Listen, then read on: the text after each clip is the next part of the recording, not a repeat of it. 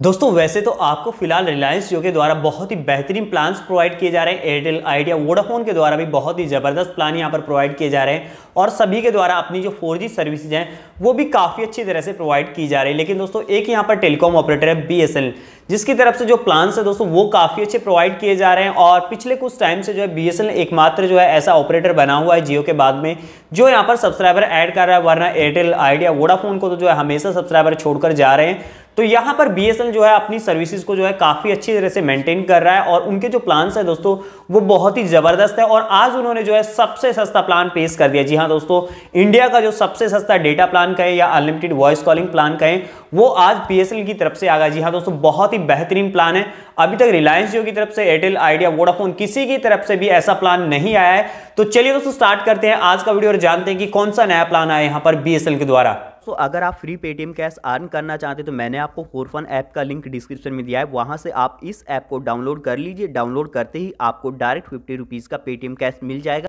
तो दोस्तों जैसा कि मैंने बताया कि यहाँ पर बी के द्वारा बहुत ही बेहतरीन प्लान आया। आप में से कुछ लोग बोलेंगे कि बी की जो 4G सर्विसेज़ है वो पूरे इंडिया में अवेलेबल नहीं है।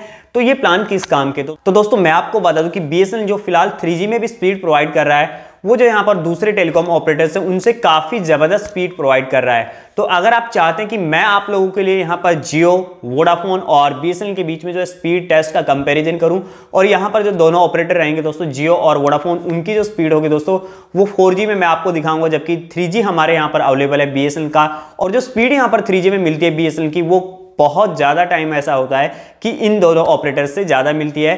तो अगर आप लोग कहेंगे तो मैं बी का स्पीड टेस्ट भी आप लोगों के लिए लेकर आ जाऊँगा इन दोनों ऑपरेटर्स के साथ में। वैसे फ़िलहाल हम यहाँ पर बात कर रहे हैं बी के द्वारा रिवाइज किए गए दो नए प्लान्स के बारे में।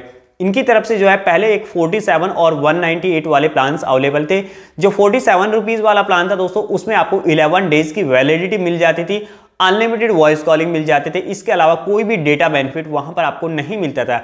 लेकिन अब फ़िलहाल इस प्लान में जो वैलिडिटी है दोस्तों, वो नाइन डेज़ की कर दी गई है और आपको अनलिमिटेड वॉइस कॉलिंग तो मिलेंगे ही। उसके साथ में अब आपको जो है वन जीबी डेटा भी मिलने वाला है। जबकि जो दूसरा प्लान यहाँ पर चेंज किया गया, उसमें बहुत बड़ा यहाँ पर चेंज किया गया है और ये काफ़ी जो है यहाँ पर ज़बरदस्त मुझे लगा, क्योंकि देखिए यहाँ पर सबसे ज़्यादा डेटा आपको मिलेगा, वो भी सबसे सस्ते में। जी हाँ जी हाँ दोस्तों, जो 198 वाला प्लान था पहले बी की तरफ़ से, उसमें आपको जो 28 दिनों की वैलिडिटी मिल जाती थी, रोज़ाना 1.5 जीबी डेटा मिल जाता था अनलिमिटेड वॉइस कॉल्स मिल जाती थी, यानी कि टोटल वहाँ पर आपको जो है फोर्टी टू जीबी डेटा मिलता था 28 दिनों के लिए और जो उनका पर्सनल रिंग बैक टोन है, वो इसके साथ में फ्री प्रोवाइड किया जाता था। लेकिन दोस्तों, अब इस प्लान में जो वैलिडिटी होगी, वो यहाँ पर मिलने वाली आपको 54 डेज़ की। जी हाँ दोस्तों, चौवन दिनों की वैलिडिटी आपको सेम उसी प्राइस में, यानी कि वन नाइनटी में ही आपको जो फिफ्टी डेज़ की वैलिडिटी मिल जाएगी।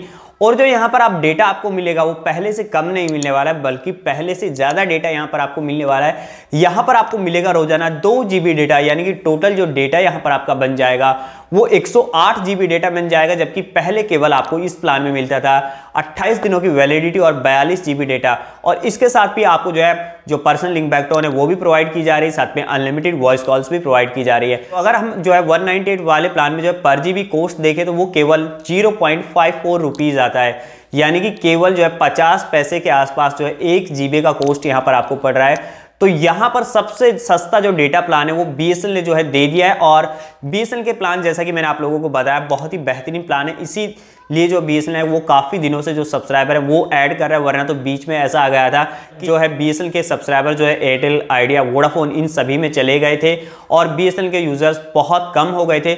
लेकिन अब पिछले जो है करीबन एक साल से बी को बहुत बड़ा बेनिफिट यहाँ पर हो रहा है और बहुत ज़्यादा सब्सक्राइबर उनके पास आ रहे हैं। तो दोस्तों, आप बताना कि आपको जो 198 वाला प्लान है बी का, वो कैसा लगा? क्या दूसरे ऑपरेटर्स को भी ऐसा प्लान लेकर आना चाहिए, नहीं लेकर आना चाहिए? नीचे कमेंट सेक्शन में कमेंट करके ज़रूर से बताना। आशा करता हूँ हमारा वीडियो आप लोगों को पसंद आएगा तो प्लीज़ इस वीडियो को ज़्यादा से ज़्यादा शेयर करें। चैनल को सब्सक्राइब करें वीडियो को लाइक करें। धन्यवाद दोस्तों, आज का वीडियो देखने के लिए।